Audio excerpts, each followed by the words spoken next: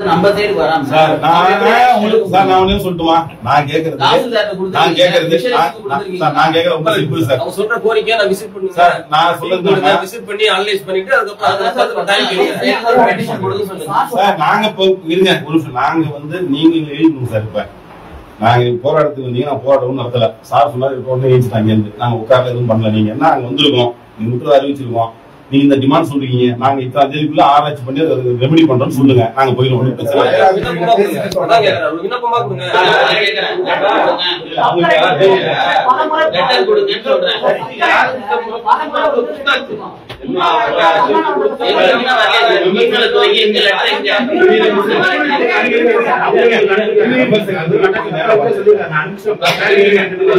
அது உங்க டிபார்ட்மெண்ட் கொடுத்தாச்சு. போன முறை அவர்கிட்ட IAS ல அவர் பார்த்து வந்தப்ப தான் வேலை இருந்துச்சு. ஓகேங்களா? எனக்கு வந்து ரொம்ப சிம்பிள் சார். நாங்க வந்து இப்போ வந்து உங்களுக்கு எதுவுமே கேட்கல. அங்க சட்டவிரோதமா எனக்கு மோட்டர் எடுக்க முடியுமா முடியாதா? வக்கையான தடுக்க முடியுமா முடியாது? அவ்வளவுதான். எறாக்குட்டை அப்புறம் பாத்துக்கலாம் எறாக்குட்டை வந்து நடத்தவே முடியாது முதல்ல. விவசாயம் அதெல்லாம் உங்களுக்கு தெரியாது கிடையாது. இல்ல அவருக்கு தெரியாது. பாருங்க, புதுசா அவரு பல வருஷமா அங்க இருக்காரு. விவசாயத்துல எத்தனை மீட்டர்ல சொல்லணும் சட்டம் இருக்கு. குடியிருப்புல அது நமக்கு ஏங்க? உங்களுக்கு.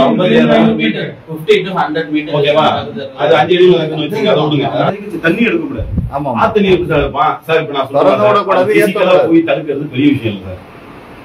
தடுக்கிறது பெரிய விஷயமா? ஊர் போய் இல்ல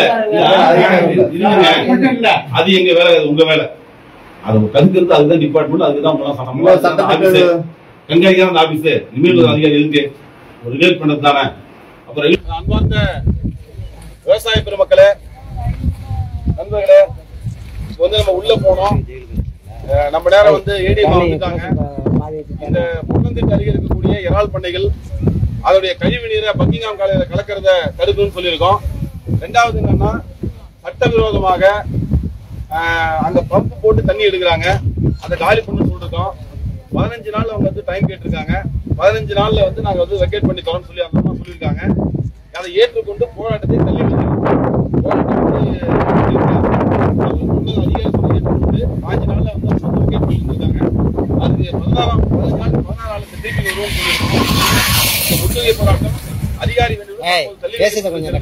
மீண்டும் நிச்சயமாக இந்த போராட்டம் அவர் சொன்னது நடக்கல அப்படின்னா தொடர்ந்து உண்மையிலே இந்த இந்த இந்த- இந்த பக்கிங்காம் கால்வாய் என்பது கிழக்கு பகுதிய விவசாயத்தின் மிகப்பெரிய ஆதாரம். கால்நடை வாழ முடியல பொதுமக்கள் குடிக்க தண்ணி வந்து பாய்சன் ஆகிட்டு இருக்கு.